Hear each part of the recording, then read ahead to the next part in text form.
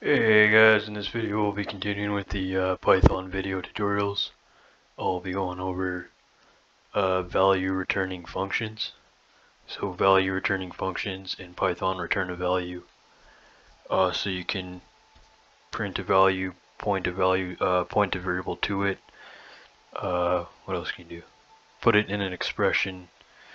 Uh, all kinds of things. So we'll go over a few ways to use it or use them. So I'll show you how to do it. We just need to use the return statement. I think I've done it once or twice, but we'll go over it here. So we have uh, a def main. Uh, then here we'll have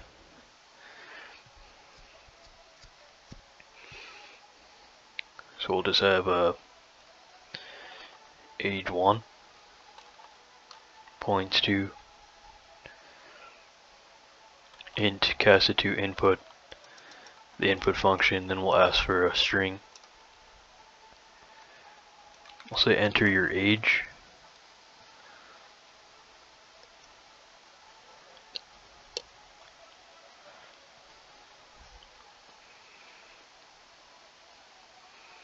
So it'll just be some kind of form or something. Enter your age. Uh, we'll, we'll put a new line here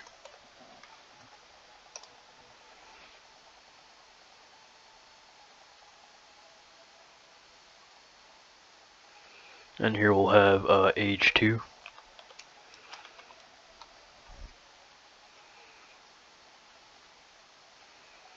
Points to int, the same thing, so cast it to uh, the input function. And we'll just say enter your age again. Or enter uh, first age enter second age. Then we'll put a new line here.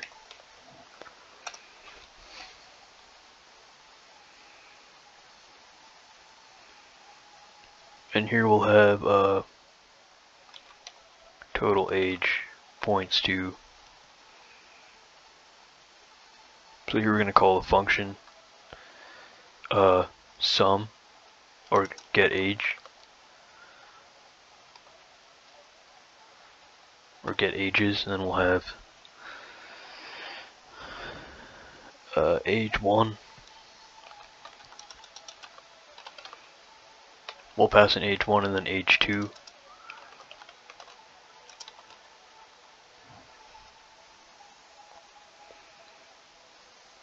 As parameters, first parameter, second parameter. Uh, after that, so the sum will get her age. Uh, we probably could have just could just write it now because we want a total age. We want this to get age so we can come back here. So here we'll just say uh, define get ages. We'll just say that it takes a val 1 and a val 2.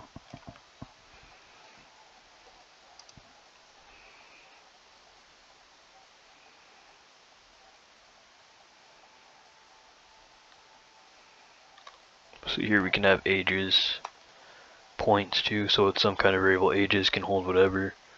We'll have it hold ints in this case, so we'll have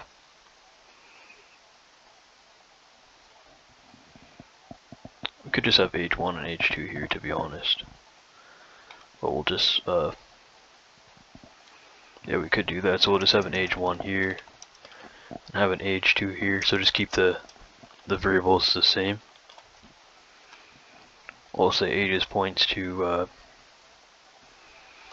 age 1 plus age 2 so it's just going to sum the values. And here at the end so how to do a value returning function all we have to do is type the return keyword so it's built into Python. And pretty much any other language Java C they all have a return statement which makes it uh, makes it handy so we'll have return here and we'll just return the value ages when we're done no semicolon so we'll just return ages here So after we have the function get ages, it's going to calculate, well here it's going to pass in age 1 and age 2, like we're passing here. Age 1, age 2. Then here we're saying, okay, well ages points to this value, to the sum, and then return the sum. So that's what we want.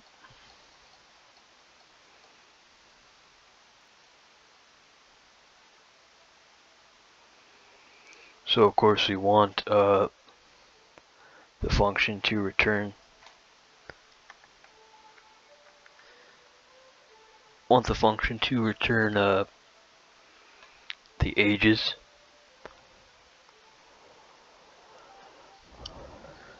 so after that uh, we will go back to where we stopped writing that function or sorry yeah we're basically basically where we stopped main here I just jump back in. It's up to you what you guys want to do. Sometimes I do that. Or I work from the bottom up, but pretty much that works fine.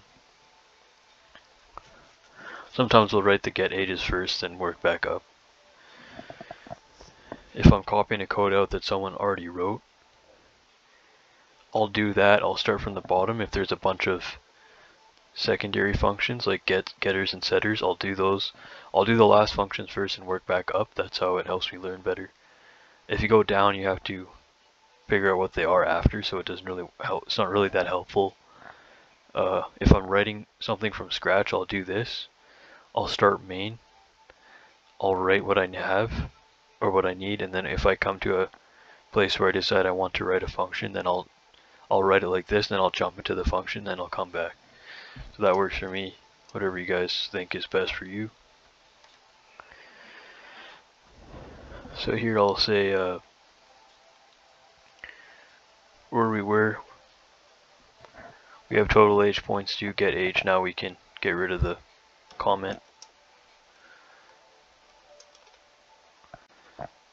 Right. And here we'll just go under that.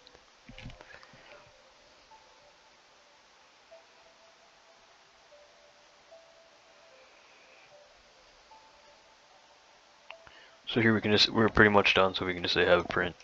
We can have a print statement, uh, the ages sum is, or we can just say the total age is, the total ages are, uh, we can have the total ages are, and then pass in total age. Or we could have even done, is we could have just got get age right here, instead of doing this. Uh, yeah, okay, so I'll, I'll show that here. What happened to my zoom in? Oh, that's as far as it goes, really? No, really? Doesn't get any bigger than that? That's interesting. Alright. I swear we got it bigger before, but that's okay. Okay, so we have, uh,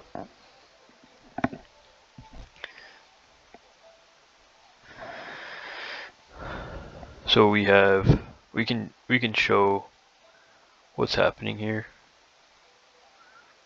Uh, we don't really need to, but we can do a quick run through, so I'll just save that, click the debug icon.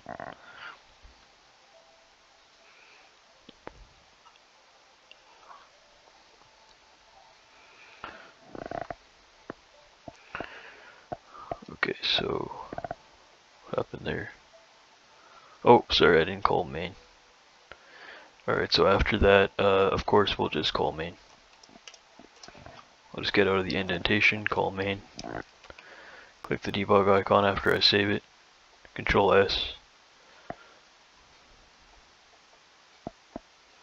Alright, so we do have, okay, so we do have a, uh, forgot the breakpoint here too. Okay, so I'll put a breakpoint here. Third time's a charm. Alright, so here we go. So we have uh, we have our main function call we're going to step in. So age 1 points to, I'm going to step over it. Then I'm going to enter a value. So age 1 points to input, enter first age. We'll just say my my first age here is like 20. I'll hit enter. Age 2, uh, I'll step over. So I'll click the uh, I'll click, I'll click the uh, variables And then we have, I'll click the debug console, or the debugger button, that, that's a debugger. And then here I'll have age 1 uh, points to 20, so it's an int. Then, so that's what we have so far. Click on the console, I'll, uh, so whoops, I'll step over, click on the console, enter second age, I'll say uh, 28, hit enter. So we'll have total age points to get ages. So now we have our two variables 20 and 28. So now we have, so we have uh, two variables, then here we're going to create a third one. So it's going to be total age points to. So that total age is going to wait uh, wait to point to uh, the, so this is a value returning function, get ages, takes two parameters.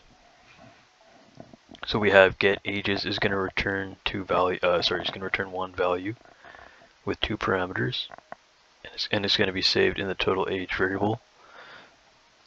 So I'm going to step into that now. So now we're in another thread, I think here, which is going to be the other function, which is get ages. As you can see, 20 and 28 got passed. They're ints. They got passed as parameters uh, now ages is going this new variable ages is going to point to the the age 1 plus age 2. So let's step over, we have another variable in our variables. So that should give us a value of 48. Then we'll, once I click, once I step over return ages, we'll see that, actually you can't see it.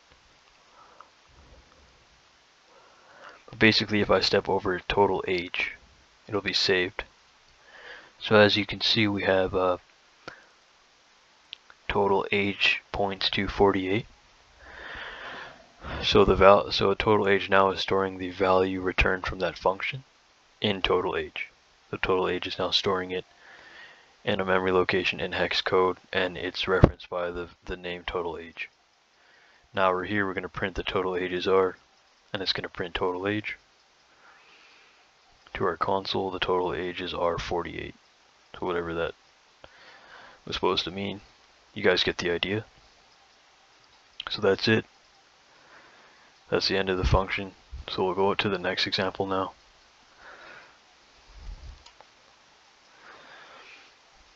So value returning functions are pretty easy as you can see there's nothing too complicated about them. Sometimes don't make them too complicated. Sometimes they can be they can seem tricky but they're not. Like sometimes they return a string, sometimes you can return an int or a float character. Well, I guess not a character in Python. You can return one letter of a string. You can return probably object types, which we'll go over later on. You can basically return a value. So that's all it is. Don't make it too complicated. It's not. It just returns a value. That's it. And you can use that value straight up like as we did here the total age is. Oh, sorry, it's for total age. Uh, oh yeah, there's one thing we can do with this as well. So I'll show you. So as we as we said, we have total age points to get ages. So we have this function call here, right? We didn't even need that, I don't think. So we could just go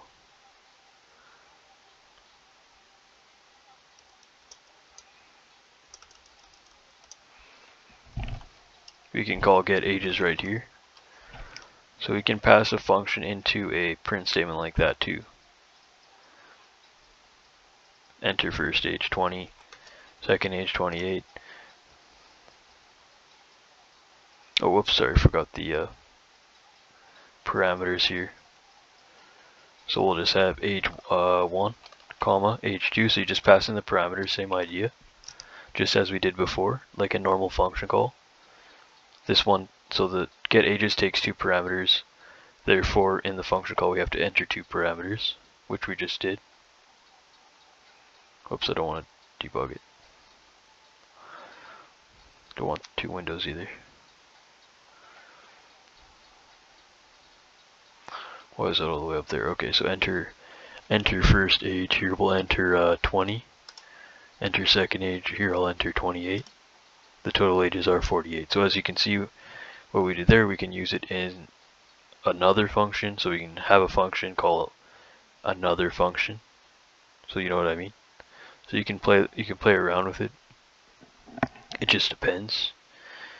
Trial and error it, so you, you try it, see if it works. If it doesn't, try something else. That's the best thing to do.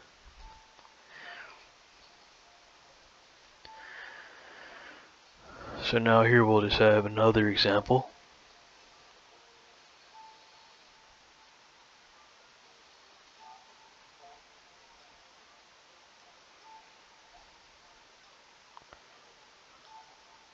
Alright, so we'll just we'll just have another example here.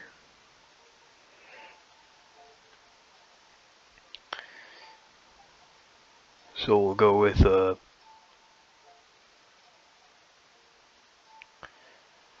I have another example. Uh, this is we'll have to delete this code here. So this will be a sale, uh, maybe a grocery store example or something again. So we'll have a constant here, discount, percentage. So we have discount percentage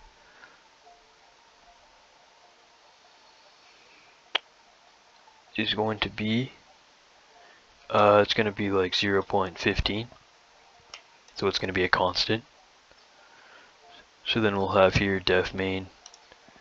Again the reason why it's pretty much a constant is that we can't change the value unless we use a global. You still can it's just that uh, yeah you still can unless we use the keyword global So that's as good as it gets. Uh, here we'll have, so def main.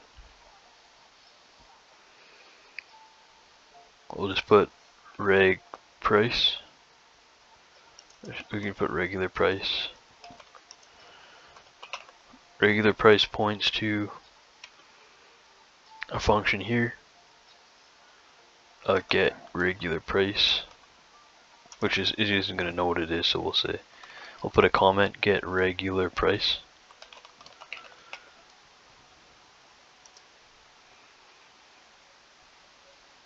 So when that happens then we'll go down to the uh, to the actual function here.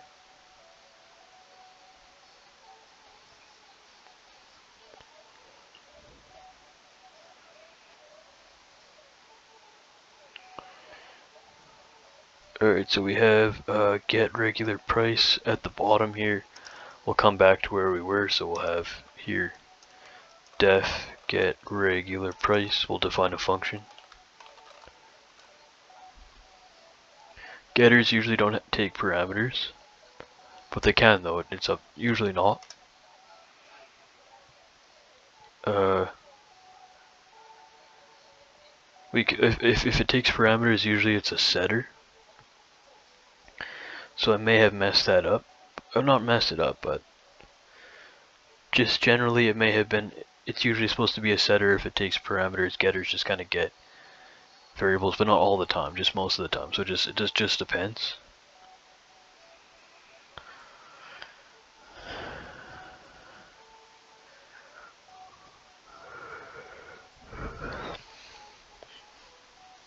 So we have a get the regular price here we'll say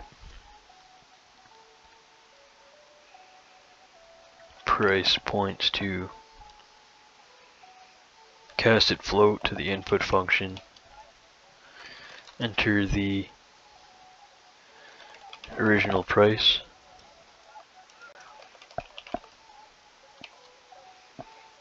we'll throw a new line in here.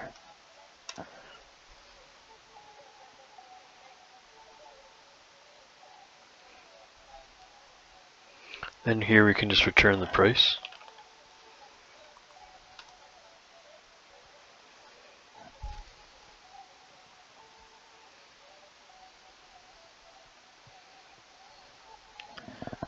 we have here regular price points you get regular price. Now we can move down. That works. See, see what I did? We created the function and came back uh, instead of doing it and then trying to figure it out later. Works fine that way for me.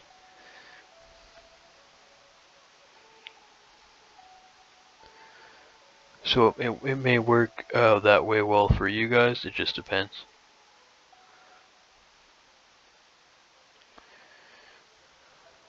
So now we'll just uh, say, sorry, lost my spot in my code here. So we have uh, get the regular price. Uh, we had regular price points to the getter. Then now we'll have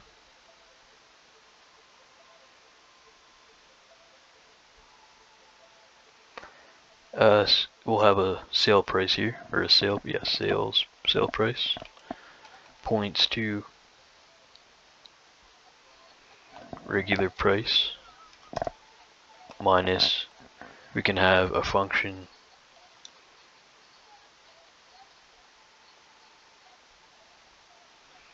discount price, which will, well right now it's not going to know what it is, so we'll just comment it out. So we pass, we can pass the regular price in here again. So we can go below this function and say def get discount price. So we define a function here. We're going to make it a getter. We'll get the discount price. So we'll say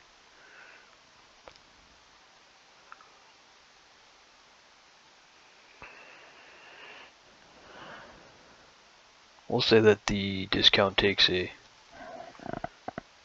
regular price.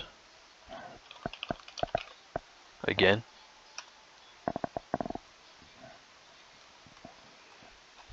And here we'll say, what we can do here is we can switch it up. We can say return, you can throw it in a return statement. So you can say actually return a regular price again times discount price. Do we say discount percentage? Discount, yeah, discount percentage. So it's gonna, so when you multiply something by zero less than 1.0, it gives you a fraction of the value. So we'll do that. So what we so what we're doing uh what we're doing here is we're taking the regular price. So we're saying we want to return an expression, basically a math expression, returning a pretty much a math expression. Return regular price times discount price. So you can do that too. You can return a variable or you can return some kind of expression. Or you can return null probably. Uh, not always, but wouldn't be a good idea to return null, but if you have like a default case where something didn't work, you can return null. Uh, we'll go over that later. Uh, that'll be more advanced, but we'll be doing it pretty soon, so I'll show you guys. So then after we do that, so get uh, def, yeah, sorry, yeah, so we have get discount price, we're passing in the regular price, return regular price times discount percentage. Then now we'll go back to where we were.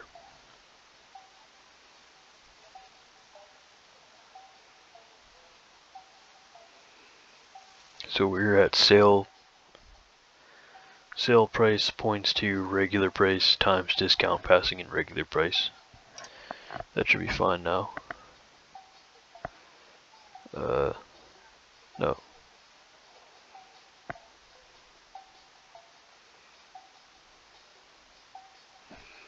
That should be like that. Get discount price. I don't like this color scheme here. The uh, PyCharm didn't do a good job with this color scheme. These should have been different colors. Uh, regular price should have been a different color than this function call. Because you can't tell when you look at it. You can change these though somehow.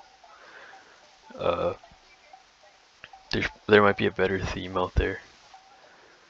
But yeah, that doesn't look too good. It's okay, I mean, it just looks like normal text. Not that great though, I mean, you can't distinguish them if you're looking at it quickly.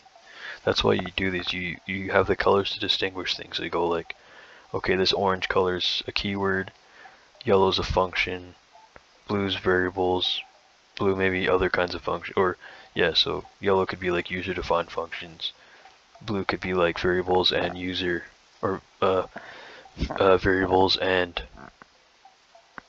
built-in functions or something, but the color scheme's getting messed up here. It's showing a variable and a, a user-defined function as the same. If they had another color, at least here would have been better, but not that great. Anyways, here now we have, uh, so we'll just print our data here, so we'll say print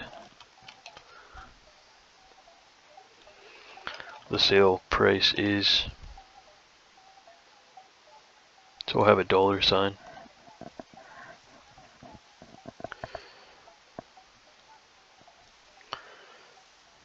format then we'll have a quote. So we'll end the string here. We'll put a comma and then we'll call the format function. And we'll pass in sale price. We'll have a comma. Then a string uh, formatter. Uh, that oh, that was wrong, wasn't it? Sale price, comma inside the bracket we'll have comma dot 2f. That's it.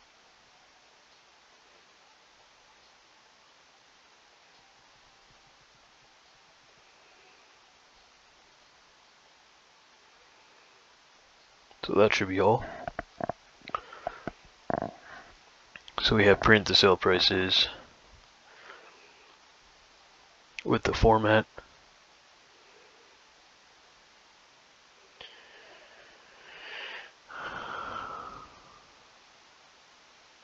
Should be all, and then at the end we could just call main.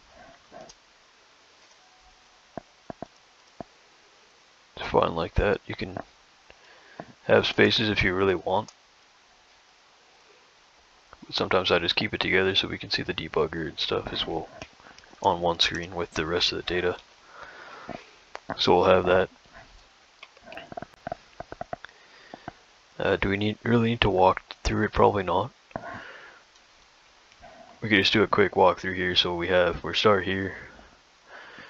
We start in main, so we move to the main definition as usual. We have our variable here, points to get regular price. We then move into get regular price. price, so enter the original price. Price points there, return the price. The regular price now points to the price. We could have just named this regular price as well. Probably.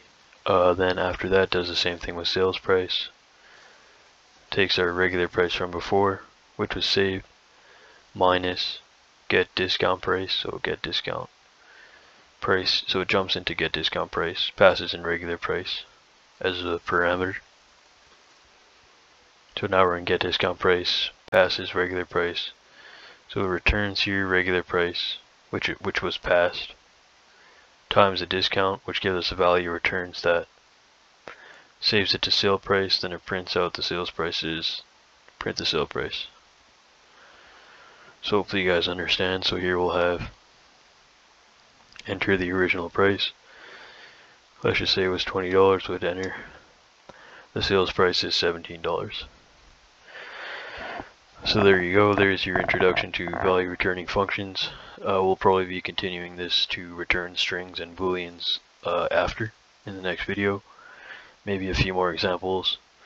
So hope that so hope that helps. Uh, if you guys like the video, you can give me a thumbs up to support the channel and subscribe if you'd like uh, for more programming videos, uh, coding, investing stuff. Uh, more languages will be coming out soon. So I'll see you guys. Thanks for watching and take care.